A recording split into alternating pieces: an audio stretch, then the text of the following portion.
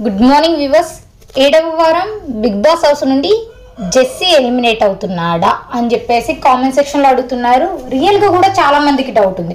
ఆ డౌట్కి నేను ఒక క్లారిఫికేషన్ ఇవ్వాలి అనుకుంటున్నాను. క్లియర్ కట్ క్లారిటీగా ఇన్ఫర్మేషన్ ఇస్తాను. ఇక్కడ మీరు లైక్ వేయండి మీకు నచ్చుతుంది వీడియో. ఇంకా అసలు మ్యాటర్లోకి వస్తే మొత్తం ఎనిమిది మంది కంటెస్టెంట్స్ ఉన్నారు.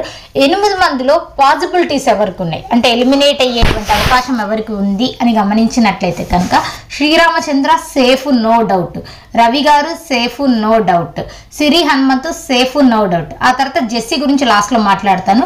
కాజల్ ఉన్నారు సేఫ్ లోబో డౌట్ ప్రియా గారు సేఫ్ అని మాస్టర్ డౌట్ ఇంకా జెస్సీ మ్యాటర్ మాట్లాడుకుందాం. సో యాక్చువల్ ప్రకారం ఓటింగ్ ప్రకారమే.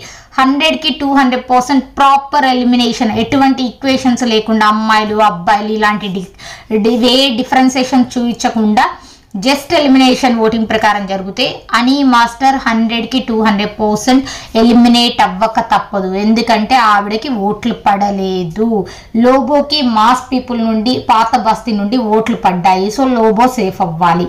ఇంకా జెస్సీ మ్యాటర్ మాట్లాడుకుంటే జెస్సీకి విపరీతమైనటువంటి ఓట్స్ పడ్డాయి. ఫస్ట్ డే నుండి థర్స్డే వరకు షణ్ముఖ్ జశ్వంత్ యొక్క ఓట్లు అనేవి మొత్తం కన్వర్ట్ అయ్యాయి. లాస్ట్ డేకి వచ్చేసరికి షణ్ముఖ్ జశ్వంత్ యొక్క ఫ్యాన్స్ ఏం చేశారంటే న్యూట్రల్గా ఉన్నారు. సిరికి అలాగే వచ్చేసి జశ్వంత్కి వీళ్ళిద్దరికి వచ్చేసి జెస్సీకి వచ్చేసి ఓట్స్ కన్వర్ట్ చేయలేదు. దానికి రీజన్ ఏంటంటే వాళ్ళ ముగ్గురికి కొంచెం గొడవైంది కాబట్టి న్యూట్రల్గా ఉన్నారు. అలా అని చెప్పేసి అందరూ కాదు కొంతమంది న్యూట్రల్ ఉన్నారు కొంతమంది వేశారు. ఇక్కడ ఇంకోటి ఏంటంటే జెస్సీకి ఓట్లు పడ్డాయి ఒకటి. ఇన్బిల్ట్గా డే వన్ నుంచి గమనిస్తే టాస్క్లో ఇచ్చి పడేశాడు. హండ్రెడ్కి టూ హండ్రెడ్ పర్సెంట్. ఆ ఫోటో టాస్క్లు అయితే తను లాక్ చేసినటువంటి విధానం ఉంది కదా శ్రీరామచంద్ర విశ్వ గారితో పోటీ బడి మడి ఆడారు. సో తన ఎలిమినేషన్ అయితే ఇంతకంటే అన్ఫేర్ ఎలిమినేషన్ లేదు. నాకు తెలిసి హండ్రెడ్ పర్సెంట్ ఎలిమినేట్ అవ్వరు. చాలా అన్ఫేర్ ఎలిమినేషన్స్ చూసాము బట్ నేను అనుకోవడం అయితే హండ్రెడ్ పర్సెంట్ ఎలిమినేట్ అవ్వరు అనుకుంటున్నాను. ఏదైనా ట్విస్ట్